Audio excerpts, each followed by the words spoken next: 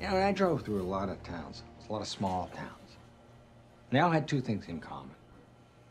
They had a courthouse and they had a church. On top of the church, you got a cross. And on top of the courthouse, they'd have a flag.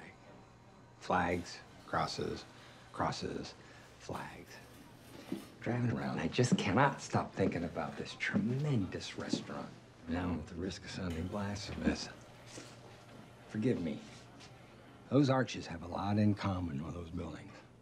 A building with a cross on top, what is that? It's a gathering place where decent, wholesome people come together and they, they share values protected by that American flag. It could be said that that beautiful building flanked by those arches signifies more or less the same thing. It doesn't just say delicious hamburgers inside.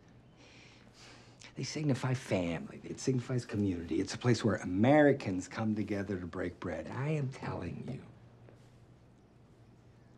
McDonald's can be the new American church.